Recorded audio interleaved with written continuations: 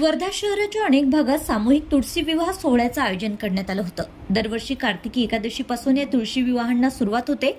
ग्रामीण भागात या तुळशी विवाहाला विशेष महत्त्व असते. कार्तिक महिन्यात तुळशी विवाहानंतरच गावोगावच्या विवाह समारंभांना सुरुवात होते.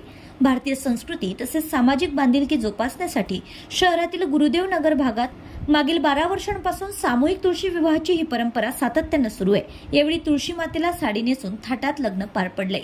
ब्युरो रिपोर्ट बातमीपत्र।